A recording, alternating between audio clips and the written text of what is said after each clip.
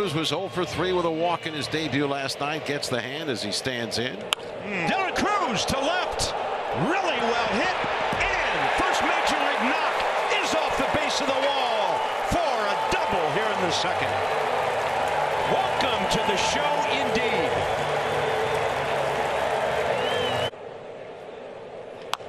Crews a tapper. That's fair. Trevino. And the ball gets away. Crews ejects his helmet. Heads for second. And we'll go one for two. Double off the scoreboard last time. And now Crews going to third. Looks like they've got him, but evidently the tag was not made. Going head first into third, you know the Yankees will take a look here. these days, as far as the swing and miss. And a ball launched high in the air out to left. Go Verdugo going back. There's number one. See you later. Just to hit that first one. Same. Pretty cool. Look at this ball roasted to left by Crews. See you later. There's number two. Light show. Let's go. Ball got a lot of plate, and it's a one hopper to Crews. Here comes the throw. It is. Your spot, let the athleticism work. Crews sends one to deep left center. Reynolds after it. At the wall. It's gone. Dylan Crews is third big league homer. The deepest part of the. Crews sends one deep to left. Reynolds chasing after it. It'll go off the wall.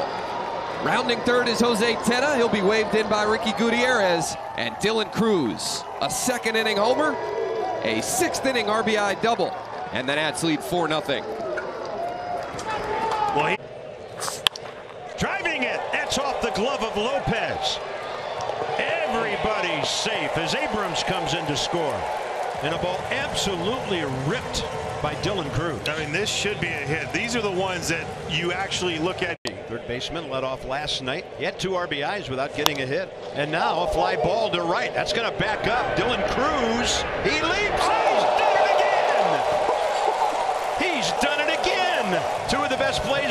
by a.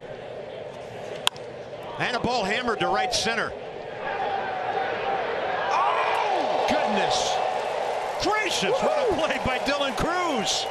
Right into the neon lights out there, up against the scoreboard. And with two outs, that certainly would have been the tying run scoring. Of his last 20. 13 to 17 stealing bases this year against Edward Cabrera. On the move again. It looked like a strike call, and safe at second is Crews. Outside, and on ball four, Dylan Crews has stolen second and third. And now he's eight for nine. Ah, look at everything. Because they work so hard.